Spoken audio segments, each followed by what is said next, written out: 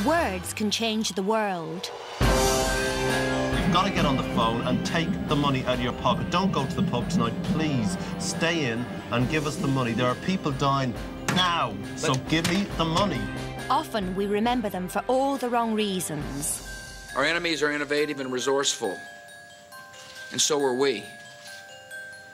They never stop thinking about new ways to harm our country and our people, and neither do we. Leave Britney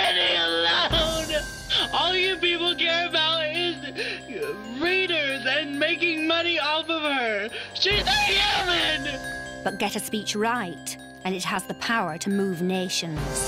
My poor little children will one day live in a nation where they will not be judged by the color of their skin, but by the content of their character. I have a dream.